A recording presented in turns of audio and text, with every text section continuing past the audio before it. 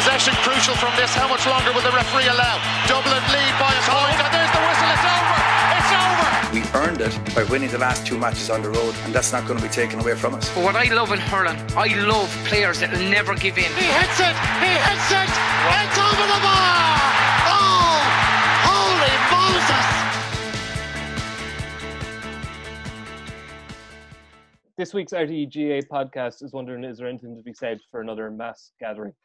Hello and welcome to the RTÉ GAA podcast. I'm Mikey Stafford. We are today discussing the halfback line on our hurling team of the All Star of the Sunday game era. One of these days, I better come up with a better name for this thing. I, I muddle it every week. We are picking the halfback hur- on the hurling team, All Star hurling team of the Sunday game era. It's not getting any easier. Anyway, I'm delighted to say we are joined by Neil McManus, Antrim hurler extraordinaire, uh, Henry Shefflin, former Kilkenny star and Sunday game analyst, and Rory O'Neill, the series editor and producer of the Sunday game. How are we doing, lads? Good, Mikey. Good. Yeah, yeah. All good, all good. Yeah. Right, lads, for anyone unfamiliar, Good. we, we are, as I keep mangling, we're picking the hurling all stars of the Sunday game era. So I'll just show you where we are at the moment. Uh, thus far, we have Brendan Cummins in the goal, won by a landslide. Uh, Brian Lohan is fullback, uh, flanked by two Corkmen, Brian Corcoran and Dermot O'Sullivan. Brian Corcoran making a very late uh, drive to knock JJ Delaney out of the team. Um, so that's where we're at. Uh, Henry, there's not there's not a Kilkenny man yet, but I think we might be rectifying that today. I'll, I'll give you. I was Yeah. just going to say, Mikey, don't worry, that's going to change. Change. so I shall. Last week we ran an article on the um, written by Owen Ryan. We ran an article asking, uh, kind of looking back at hurling halfback since 1979 and kind of reflecting on some of the greats. It was a very long list. We came down to about 48 for people to vote for, and the top 10. Um, we have Brendan Maher at 10, Kieran Carey at 9, Sean Og Ó hAilpín comes in at 8, Tony Keady is at 7, Seánie McMahon at 6, Ken McGrath at 5. Poor JJ Delaney seems to be edged out again. He's definitely on the subs bench. Yeah. He's, at, he's at 4. And at 3, and on one wing, we have Paddy Maher. On the other wing, or in the centre, we have Brian Whelahan. And uh, topping the poll at the moment, eh, we have Tommy Walsh. So that is our top 10. Jeez, when And you see the names. Wow. so Henry, I suppose come to you first. Um, I'm imagining you'd have no dispute with Tommy Walsh topping this poll.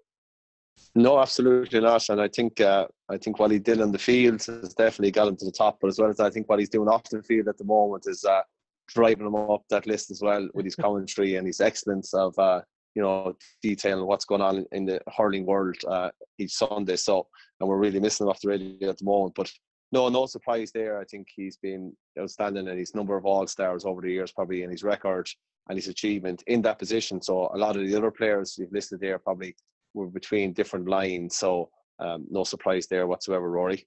No. Yeah, No he really, um, he really, he became kind of the archetype, didn't he, Neil? Like he's, you know, he's not too big. You wouldn't say he's too fast, but he, his his all around package kind of made him the, the the kind of you know, if you were to design a wing back, Tommy Walsh is kind of where people are going these days, isn't he? it, it was just pure desire. You know, Tommy, it didn't matter if it was Dan Shanahan or who he was marking, you know, somebody his own size. He was incredible. I think, as you say, it just illustrates to every player. It, doesn't really matter, you know, the physical attributes that you have, whenever that desire is there, like what Tommy had, he was unstoppable. I loved even I heard some commentary about him earlier in the year there. Uh, they're talking about his ability to try and win sprints, his ability to try and win, you know, anything that was going on at Kilkenny training. He wanted to, he wanted to win. He would nearly turn a, a sprint session into full contact just to keep himself ahead of people. You know, you, you, he's a rogue as well. You know, like and he, uh, Yeah. he had all, he had, he had all the arch you'd want uh, and a nice tight, feisty uh, wing half. Yeah, speaking of feistiness, I wanted to just uh, relay a story here to Henry because you must have witnessed this, Harry, uh, Henry. And I want to know a how often this happened, and b you know what were your take on this? As the head of the 2012 All Ireland final replay, um, Eoin Larkin told this story to, to Sean O'Rourke last year. Um, said, I ended up grabbing his brother Padraig in a headlock, and the two of us fell to the ground. My helmet fell off, and all I could hear was Jackie Tyrrell shouting at Tommy, "Don't do it! Don't do it!" Next thing, I was after getting a boot in the face from Tommy Walsh. He was a very good friend of mine as well. things kicked off. I was on the way out of training, and Brian gave the Brian Cody roar to come back. I said, I'm not hanging around for that stuff. And Brian let another roar. When Brian lets one one roar, you take notice. When he lets two, you're going to come back. As soon as the train was over, I got my gear and I was out the door. I can try. Uh, Tommy turned up at my doorstep that night. I went out to the door and he said, "Larks, I don't know what happened to me. I'm in bits. I'm so sorry." I just said "grand" and slammed the door in his face. um, yeah, no, no, and that, that's Lark's version of events. I'm sure Tommy is a different version of events, but uh, no, there, there definitely is an element of truth to that. And it, um, ah, look, to be honest, just on that story, which has got great airplay and it sounds very good.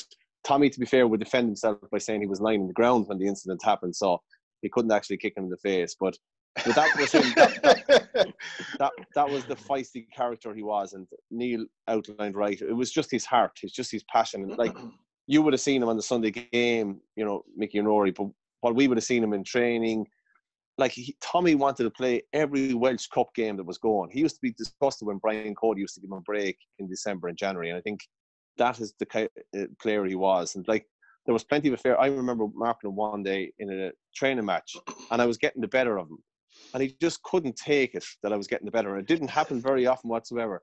And the ball was up the end of the end of the field just before it was starting to be delivered down. And he just grappled me and threw me onto the ground.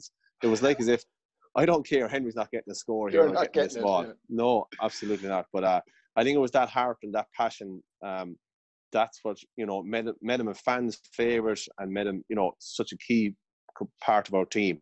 It's different yeah. now. Like you used to love seeing Tommy go up into the sky and grabbing the ball and, and delivering it, and the roar go from the crowd. While I'm sure we get to speak about it, it's different now that a wing back wins the ball. It's like don't hit it away, don't deliver it. We're looking at the GAA Gold matches every Sunday at the moment, and that's what happened. The roar went up from the crowd, but now it's like steady down, play through the lines, give it back to someone, bit of link play, and I think that's that's something that's gone out of the game that is, is a bit of a loss. I think. Yeah, absolutely. Um, Neil, you have um, looking at the list. Obviously, Padraig Maher is Paddy is coming in there in the top three, and uh, what I always think about Paddy Maher when he was starting out, I, I, I just thought he was amazing from the start. He was just so powerful. But the one thing that always stood out with him at first was he wore white boots. And I always thought if a hurler is going to wear white boots, he has to be very, very good. And uh, he's he's certainly earned the right to wear white boots. Potty was the first time I, I marked Potty was uh, as a minor. I think uh, Tip won the the minor in 06 possibly. Um, and Potty and Brendan, you know, the, the, crew that came through at that stage were incredible. But Potty was so physically imposing, even just at 17 years of age. Uh, I think he, he maybe captain 10 under 21 All Ireland as well.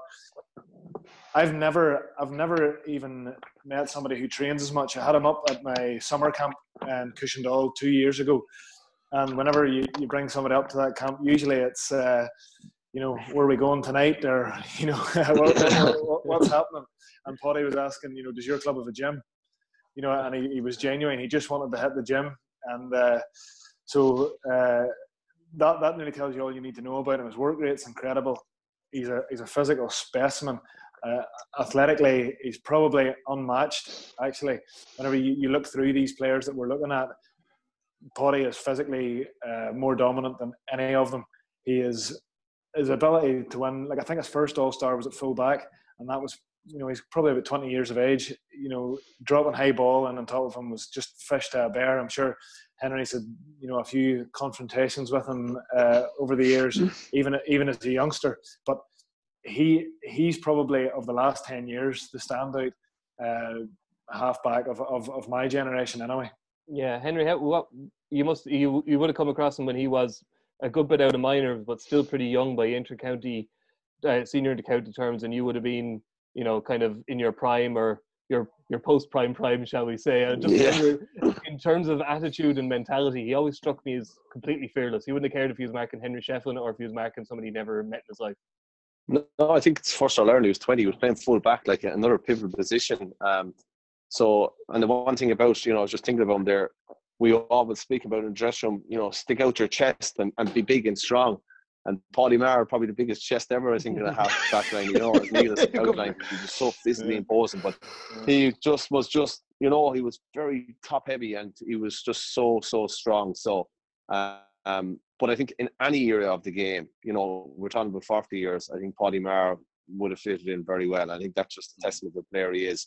And it's it's been the longevity of his career. All those players we're speaking of at the moment, he's still going as strong. And I think it's the work for any of the younger people listening in. You know, we talk about Tommy, we talk about Padraig Maher. It's the work they do off the field is the reason why they last so long. And look, in what was it? It was 2010 when we first uh, came across him, I think it was. So, and here he is being an all-star still at this level. So, uh, I think it's it's testament to to the level he's at. But again, physically imposing, but a great delivery of the ball, and he's one of those players. I remember in 2011, I think it was, or 2012, where we actually identified a forward. It was probably the first time Kenny ever did it. We identified, I think Eddie Brennan went on him, and Eddie's job that day was to keep Paddy Mark White because he was such a big player for Tipperary.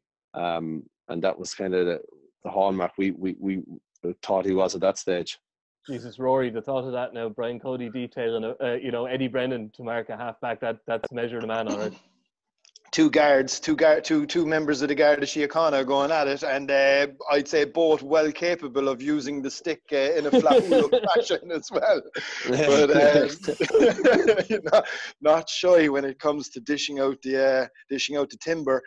But the one thing that strikes me, I mean, look, I suppose we all have our favourites, and um, I mean, Brian Whelan was arguably one of the greatest players I ever saw play.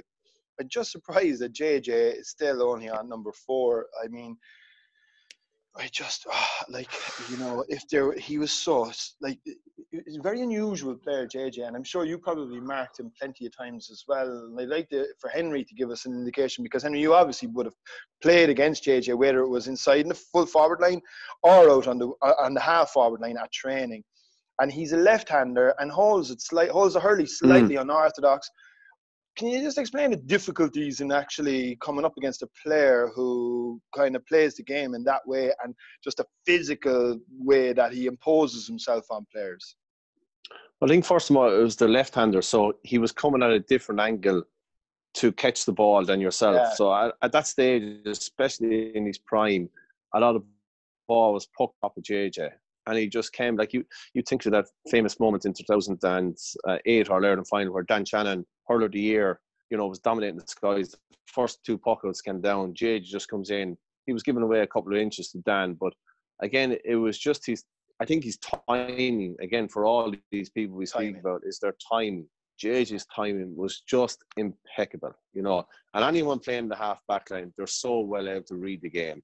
And JJ had both of those, but it was just his timing to be able to come in at the last second to come with these left hand yeah. and just knock it out of your hand and move your hurl away and into the paw and away he go then. And I, you know, obviously he did, but I cannot remember him giving away too much ball. He was always there to give a hand pass to someone or just a little 15 yard pass. And uh, he came out in all Rory. He played minor for Kenny. I didn't even see him playing. And the following year, he was playing senior for Kenny. So, again, yeah.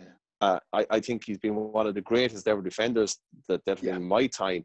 And I think the reason why he's for us that some people identify him, some of the newer generation of listening, as in the full back line. And the only reason he went back there, like he would have dominated that half back line for years to come. And that was Noel Hickey. It was just Noel, Noel, Noel Hickey packed it up. Really, it was the only yeah. reason he went in, yeah. wasn't so it? JJ was kind of caught in between, but I think uh, you know, just both of those, Tommy and JJ, just their timing. And JJ, you know, I know our colleague in the Sunday game, Donal Óg, loves to go on about the spare hand. JJ was just the best at that. He was master.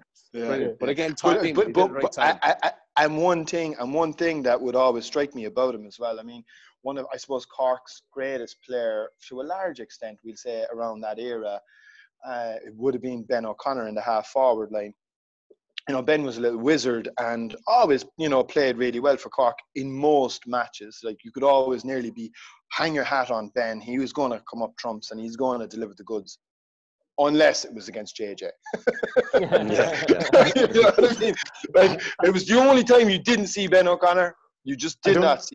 He just totally snuffed out, you know. Uh, but I don't think uh, I don't think that was reserved alone for Ben O'Connor. I, I can't remember anybody getting the better of JJ. JJ yeah. would be my number one of, number of all halfbacks. Yeah. Like I think, as, as Henry said, had he been able to stay and spend the last five six years of his career or the second half of his career in uh, in at wing back there. There, he, he, I think he's the best. I even he could get forward with the ball too. He was a great athlete as well, but Mm. his dominance under the high ball was frightening. You know, and even how and Henry will probably allude better to this. How tough he was. You know, people But often But a good go- hurler too, Henry. Though, like a good hurler as well, though, Oh, wasn't he? she's uh, and that's what I'm saying. uh, Absolutely brilliant hurler. He, he never, you know, before his time, he never lost the ball for us. While Tommy, to be fair, you know, was excellent at the delivery. But Tom, JJ used to come out and he might only ju- give a 15 yard pass for a half forward playing on. You knew first of all he was going to catch it, and you could come to him and he he'd deliver the ball. So, um, and, but teak tough, Jesus, just teak tough, and uh, and and very quiet. Just did it in his own way. He was just Yeah. unique. And you you you think back to that block with uh, James Callan. I know he Jamie played full back at the time. Yeah. You know that was just unbelievable. That was JJ. Just Yeah. he never. Yeah, I used to mark him in training sometimes. You think he'd be gone from, and next thing he'd come back. And I remember one night in training, it was a great lesson. I think it was 2012, and Brian Cody came over to me. I was after marking JJ, and he absolutely cleaned me out of it. Just absolutely cleaned it. And Brian Cody came over to me and said, "Henry, I never want to see that again." You know, it was just he just dominated me so much. And was just a, it was a great learning for myself. You know. Yeah, I've I I've uh, I would have had him in my top three by a distance as well, and I have a great fondness for him because when I uh, I used when I worked at Sports Show, we used to do a podcast together, and he was uh he's just the nicest, most mild mannered, gentlemanly, pleasant fella you could ever meet, and it's so hard to marry that with the guy on the pitch who was like most of that Kilkenny team. Now, in fairness to you, is you were you were single minded and very driven and like would do anything to win. But of all of you I've met, I don't think I've met a more pleasant individual than JJ Delaney, and I really just I I do find it difficult to kind of marry it, you know, Henry. Yeah, that's the way he was. Like we used to have mighty crack after the match, like and the session would be on. But that'd be JJ again. JJ, you just couldn't get the end of him. He'd just be still there, laughing and joking and smiling away and uh, and having great fun. So, but uh, just you know, just an unbelievable fender. And again, I know we're talking a lot, a lot about Kenny at the moment, so I don't see the bias there, Neil, or anything. But you know, definitely he'd have to be my top three. Definitely, I would say to with you, Tomley as Neil, well. Yeah. Neil, look, looking at the list, Neil, we've got the only current players on the list are the two Mahers in the in the top ten, and outside the top ten, I can tell you there's actually there's nobody nobody current there either. Do you think the, the current crop of halfbacks are being dealt a hard ha- hard uh, hand here, and do you think there's anybody still playing outside of the two Mahers who should be in the contention? I'll be honest. I was surprised not to see Pádraig Mannion in there. You know, for Galway, like Good shout. his Mm. his his form over the last four or five, maybe even six years has been incredible. Um, and you know, I thought he probably would have got hurler of the year a couple of years ago. Um, and it seems to be you need to have got hurler of the year at some point to be having a to be even have a run for this Yeah. this team. So um, he was very unfortunate there, and had, had he have got that gone, you wouldn't you wouldn't know. But he was the one immediately. You know, as I read the list, I thought no Pádraig Mannion. You know that because if I was picking a, a half back that I wouldn't particularly enjoy meeting for seventy minutes at the minute, I think he'd be he'd be top of the list. So he would. Yeah, and um, you know, you have Neil the the the the, the pleasant but slightly patronising kind of label. You're the kind of guy who says, "Oh well, if he was born in any county in Ireland, he'd make the team."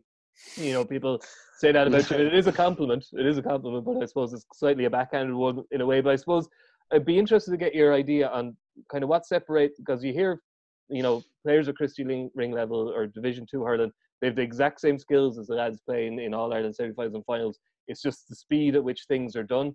Would that be the same with with defenders? Would you say defenders at the highest level?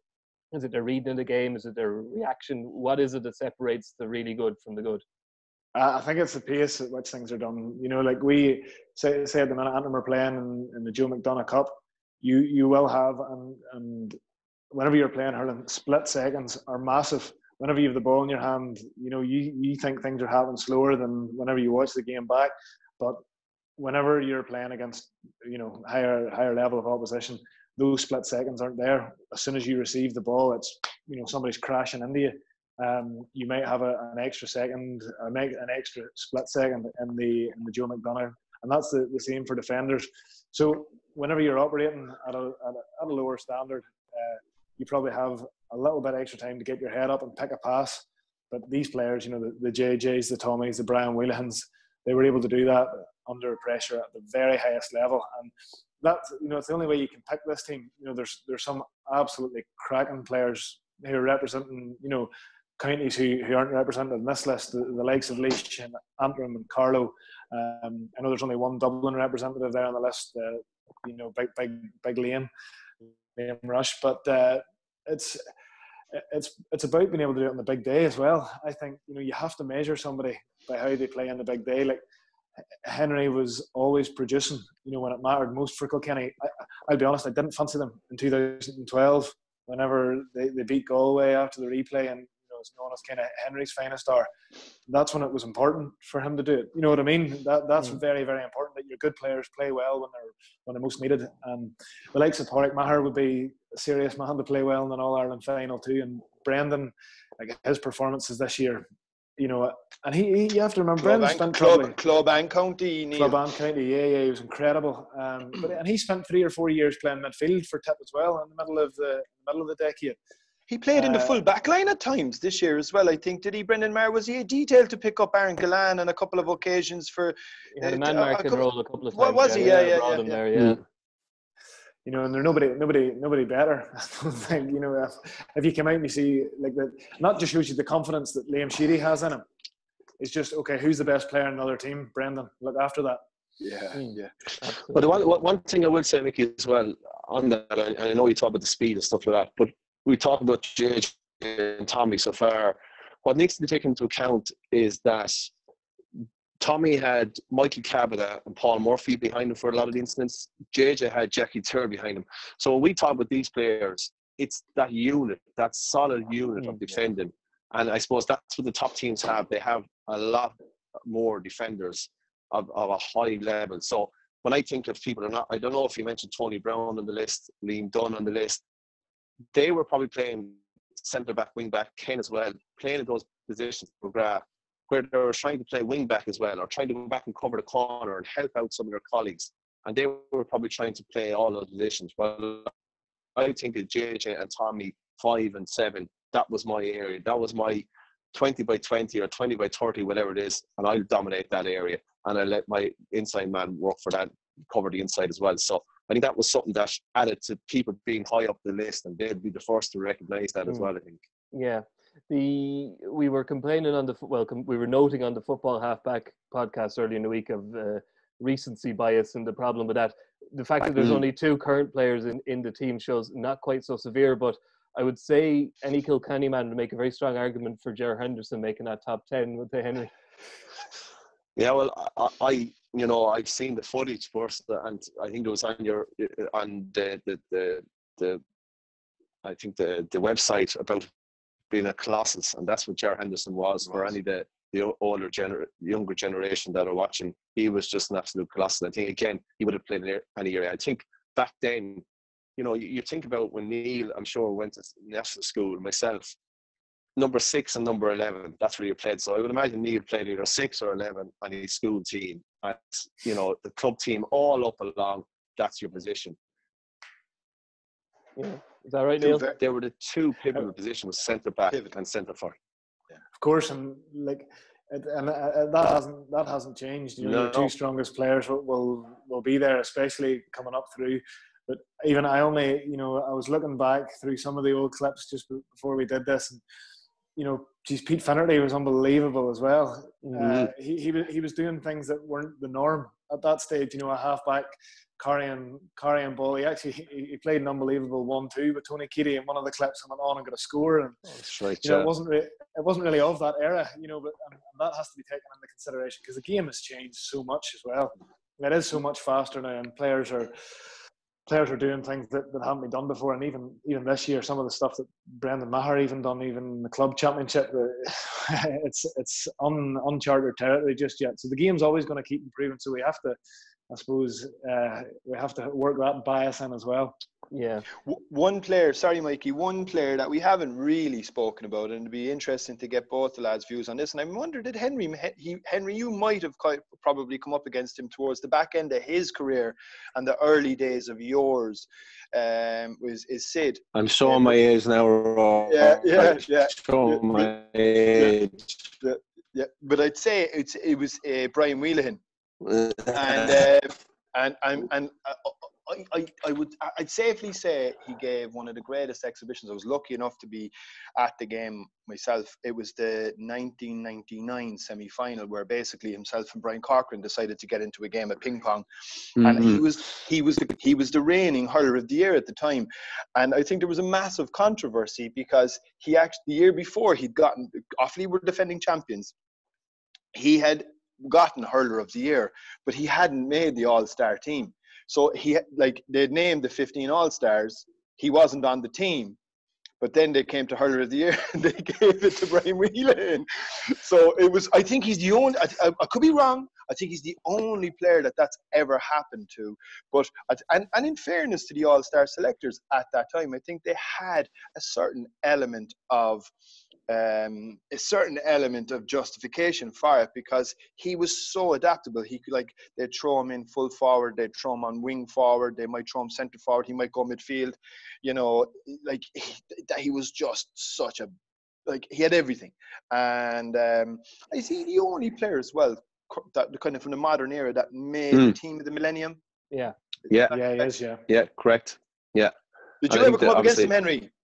Yeah, no, I did. Sure, Brian played, and I, I, marked him in 2002. I'd say it was one of his final years actually, and uh, obviously we played him against him in 2000. Uh, he bet us in an All Ireland final. Brian McAvoy scored three points off from wing back in the 1998 All Ireland final. Uh, he was sick that day, so they moved him in full forward. He proceeded to score 1 1 and Offaly Kenny, so he cost us in All Ireland as well. I think 94 was the year you referenced where he was the hurler of the year. And was it 94? Uh, ah, yeah, yeah, yeah. And there's so many emoji games and stuff going around. I know there is someone else that happened as well. I can't think of at this moment in time, but you know, there's clips actually online this week uh, following the the 95 final was it? Was it 95 final where he got a hook on someone the last minute?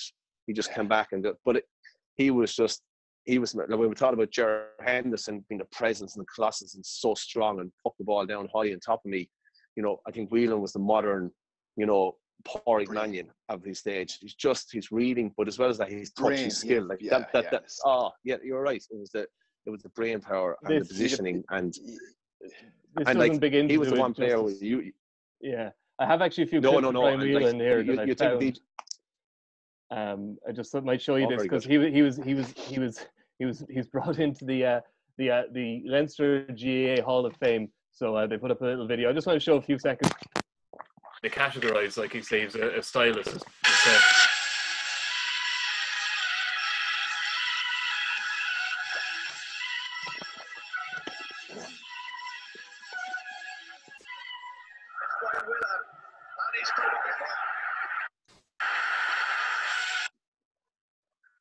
Right. My YouTube's disagreeing on me there, but uh, not to worry, not to worry. Yeah, he was, he was, he was. Like I was glad. All I'd say on it, on him is, I, I, it was a big thrill of mine to be at that match, even even uh, and um, to to actually see him in the flesh, and um, to see him at kind of reasonably at the peak of his powers, and he, like he's alongside Henry I, not, not to be blowing smoke, Henry, but he's he's up like certainly the best players that I've ever seen actually play. he was he. I think he made his debut actually in '89 uh, in the semi final. Whenever Antrim beat them to reach the mm. All Ireland final, and uh, kind of you know that that team was coming to the end of its that that first set of Offaly uh, players were coming to the end of their their their their reign, if you like. They had won a few Leinsters, all right, but then he led the resurgence. You know, the '94 and the '98 All Irelands. You know, they, they wouldn't have happened without Brian Whelan. And he wasn't and a he, big man, was he? Well, he wouldn't have been a big physical presence or anything, no. I'd say I'd say he's five eleven anyway. Henry might mm. know better. You know, he yeah, wouldn't, he wouldn't yeah. massive, but he wasn't he wasn't small either. He's kind of rangy. Uh, not as you mentioned, like Paul oh. Mannion. He wouldn't be he wouldn't be heavily mm. built, but he's uh, he's a wiry kind of build.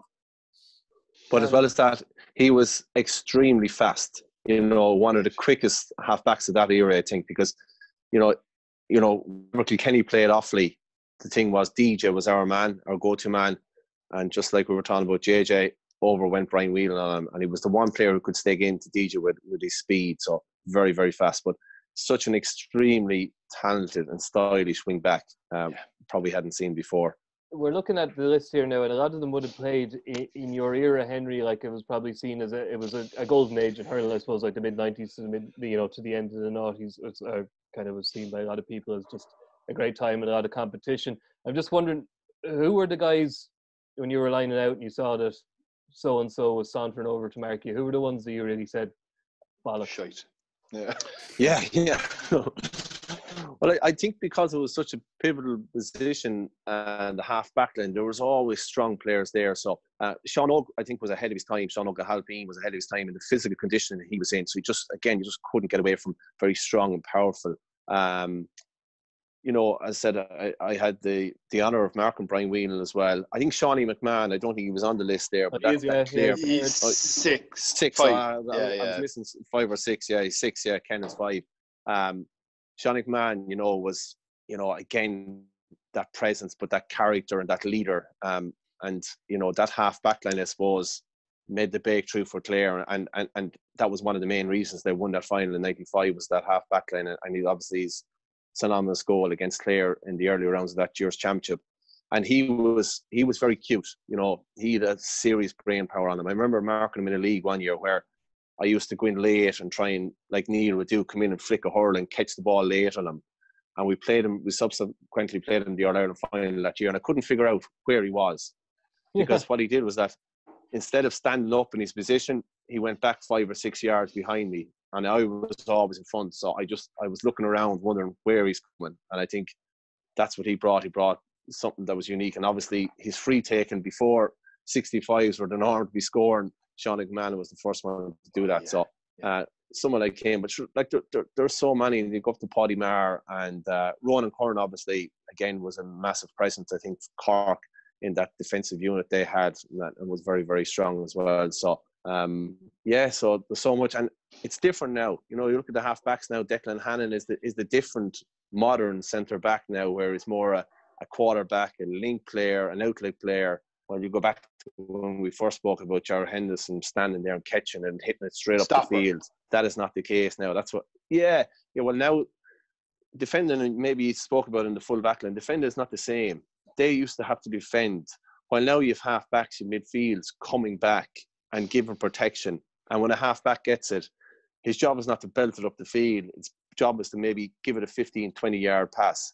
And so the modern halfback has to be different too. It's not a Tommy standing on a puck out. Mm. It's, it's someone that has to get up on his man and be able to have legs to cover the ground as well. Well, even on that though, Henry, and it's an interesting point you make because if you look back to last year's semi-final between Limerick and Kilkenny, like one of the big things that came out of the game was that the TJ was running riot, and it wasn't until they shifted Kyle Hayes back onto him that they put the, the some they put some bit of a they put some bit of restrictions on the influence that he was having on the game. And a lot of people in Limerick and people further afield would feel that Kyle Hayes' natural position is centre back um, like, what would your take on that be? Well, obviously he was uh, man of the match the previous year in the Ireland final centre forward. So yeah, it'd, be interesting yeah. to get Neil's input here because I know Neil has played both positions as well. Um, you know, I, I, I don't know. I think what the way Limerick play, their half forwards give such protection. Declan Hannon gives such good quality ball into that full forward line.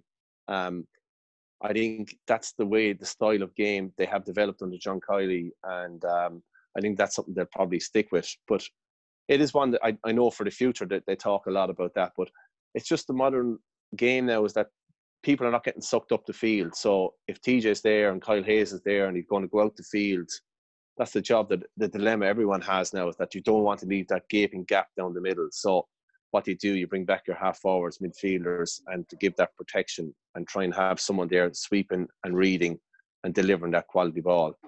But I'd be interested to see what Neil thinks of it. Like, obviously, he's played both positions as well. Even how it's changed now is, as Henry says, there, there was a time when, whenever you were coming up against the TJ, the teams would just say, okay, we're playing a sweeper.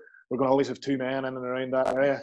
But even that has evolved now, and we, we, we see it probably most prevalently with Wexford, even though hmm. they have a spare man back there. He, he's thinking very offensively a lot of the time. It was Shaun Murphy whenever the sweeper was defensive, um, and now they, they, have changed that a little bit uh, because they're thinking now about when they win the ball in the half back line, let's break, almost like a basketball team. You know, and they, they move up the field and they're trying to now. It looks like almost make the half forwards have to mark the half backs. Mm. You know, give them something else to think about. There's an extra mm. man here. We're going to comfortably play the ball about and make you chase us, and, and we'll go from there. Like Paudie Foley is now the he's the free man. I don't like to use the word sweeper because that's not how he plays. He's, he's mm. exceptionally quick. He's about six foot five. He's a huge stride. So it's different for, for who you're playing against, but very rarely, and I'm sure Henry's seen this probably more prevalent in the second half of his career. Very rarely would any team allow Henry to be one on one with their centre back or wing back. You know, teams are teams have been too smart, you know, for, for too long now to allow that to happen. But it's evolved again now where, where Declan Hannon doesn't really mark his man. Darragh O'Donovan or Kyle Hayes or somebody will step back and to, to help in that area to allow Declan to sit 35 yards out. But whenever Declan does get it, you, you know he's getting a, he's getting a couple of points most games because he'll pop up in midfield. You know he's a great striker of the ball. Um, so that's changed. Whoever's going to be free or whoever's going to be centre back, they're they're very much a part of the offensive uh, team. Neil, that takes great confidence, doesn't it? To be like to know that you like say you're Declan and you're the captain of the team, you're one of the most influential players. To kind of to accept that free role to, to people people might think oh it's a luxury but actually to kind of to not have a defined job and to have a defined man for 70 minutes or 80 minutes of a championship match to have to kind of go and influence the match in your own way that that's that's actually a very pressurized thing to do isn't it? It's fun and you need a very particular type of player to fill that role but even knowing Declan it's no surprise that he revels in that role. You know Declan was a, a wing forward for the first mm. four or five years of his career with Limerick and uh, he would be very, very comfortable being the person who is you know trusted to hit that killer pass and be the man you know with other with the guys work it out. They very clearly want to give it to Declan you know for, for delivery. And you you look just through the, the, the past two seasons how how many times he's able to put it in Aaron Gillane's pocket. You know Limerick, Limerick plays so deep that Aaron is usually in the full forward line by himself. And yet the ball whenever they work at the Declan Hannon they'll ensure that he has time and, and he always executes it perfectly. Yeah, it's it's it's fascinating, Henry. The, the kind of the evolution is like the as you say, it's not it's not a ball dropping down on you know Tommy and lashing it up the field anymore. They're they're kind of a quarterback, aren't they? Particularly the centre backs. Yeah, I think so, and I think the, the distribution is one thing, but as well offensively, you know what they're bringing to it. So you look at Wexford now, where Davy definitely has evolved the, the half back. So Paudie Foley, you know, you look at him, you see the half forward, the Wexford half forward pulling down the field looking for a short one. It leaves a gap up at the other end, and here next thing you look up and here's your wing back running up to yeah. take the puck out. Yeah. That's yeah. how much it has evolved. And, and like you look at Declan Hannon has rightly started off as a forward, now playing centre back. Barry Nash, similar. I think he was a forward in his early days, now back playing wing back. That's the way Pádraig Walsh playing for Kilkenny, playing for his club centre forward, playing Kilkenny centre mm. back. I don't think that probably it obviously did happen with some players, but it didn't happen as much. Well, now uh, it's a completely different game and, and way of playing those positions. Yeah, we'll we'll finish up now in a second, lads. I just wanted just to clarify now the the the three you would be picking. Am I right in saying that all three of you would pick Tommy Walsh and uh, both of you would pick Tommy Walsh and JJ Delaney? And is Brian Whelehan your third, or is there somebody else you'd put in there, Henry? No, well, I actually had Brian third. I think Ken Ken would be unlucky. I think Paddy Maher would be very, very unlucky as well. And I think Paddy Maher, if we have this conversation in two years more time, I think he probably will be in the top three. But for me, uh, I have to say, my own era, I have to go with Brian, uh, JJ, and Tommy. Okay, and Neil. Uh, I think well, JJ to me is Neil Don, my number one, and I think Ken in the middle. I know himself and uh, Tommy are the two only players to have all stars midfield, forwards, and backs. But I think Ken was incredible, and Henry made a brilliant point. You know, not not everybody was playing on on an on as part of an amazing back unit. I, I don't think the Waterford you know backline was comparable to the Kilkenny backline uh, of the you know of the Naughties. Um, and I think Ken was just everywhere. You know, you could find him in corner back, he'd be winning ball, carrying it out, then he'd be scoring a point midfield. I'd, I'd have to put Ken in, so would, and then I think Brian Whelehan would be unbelievably unlucky to, to lose out to Tommy in the other wing. Could I, Mike, Mikey, could I just, I just tell you one story if I could, though, just before we finish? Because I know Henry mentioned earlier there about Sean Og and how the difficulties that he found facing Sean Og because of his athleticism. And, you know, um, I, I actually marked, I played against Sean Og um, in, in a minor league game. Now I'm switching codes ever, ever, ever, ever so slightly just for one second. We were playing football and he was playing for the Piarsaigh, I was playing for Nemo and we were having to go up there to play him, and that was the first problem because anytime you went up the north side to play him, you knew you were going to, you were guaranteed to get the shit kicked out of you anyway. right? so that was an absolute given. So, so I trotted in. I'm trying to make my way on a very good team. We had a good side now, Martin Cronin, and a few others like the lads that would have gone on to play for Cork, Joe Kavanagh. These we had a good side that you know, and we I'm trying to make my way. So I trotted into corner forward. So, I mean, yeah, I was playing corner forward next thing, who do I see running in towards me? He's the same age as me, like you know, but we would have never have come up against each other all that often because his team were playing at a higher level. Next thing, who do I see trotting in to mark me? Sean Og. Now his name had gone around Cork at this stage, like you know, in terms of like very difficult to get out in front of, just come so athletic, you know. So I said to myself, look, the first thing I'm going to do anyway is I'm going to go early because if I don't get out in front of him, I'm goosed. So the first ball that came in, I did manage to get out early, got the ball into my chest, turned and just leathered it. And for some reason, it curled and it curled beautifully over the bar. And I was kind of going, this is easy. you know, I'm, I'm away on a hack here, right? Well, like that. the next, well, the next five or six balls, all I could see from him was dust. he just let me go.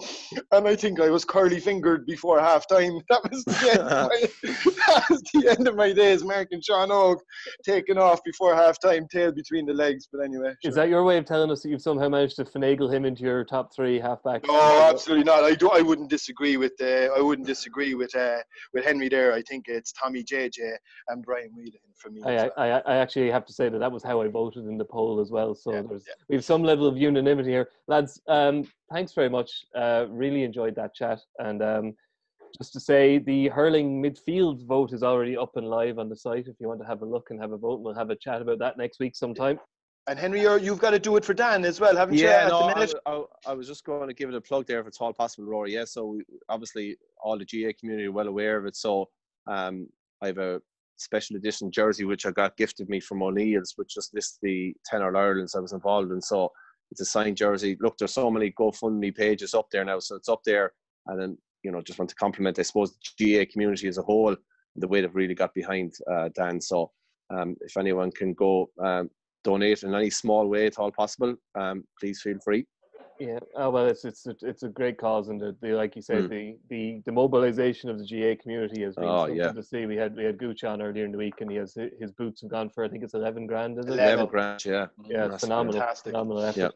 Uh, just to mention, Sunday Sport is back at the weekend, two to four. Port um, Waterford tonight. Port Waterford. There's one for you now, Neil. You can watch Ken McGrath in his pomp.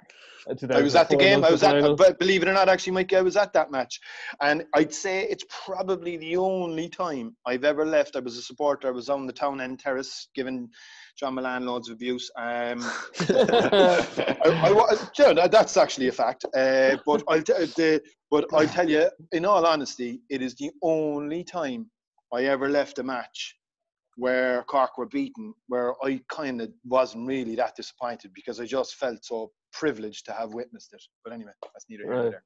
So watch it tonight on RTÉ too, and um, we will say just say that the RTÉ website, the News Now app, lots of GA features, and um, votes and news there still. So I'd just like to say thank you very much to Neil, to Henry, Thanks, and guys. to Rory for joining us. Enjoy that. Thanks, and we'll catch you all again next week. Thank you very much. Cheers, Cheers guys. Thank you. Thanks, lads. Possession crucial from this. How much longer will the referee allow? Dublin lead by a point, and there's the whistle. It's over. We earned it by winning the last two matches on the road, and that's not going to be taken away from us. But what I love in hurling, I love players that will never give in. He hits it, he hits it, it's over the bar! Oh, holy Moses!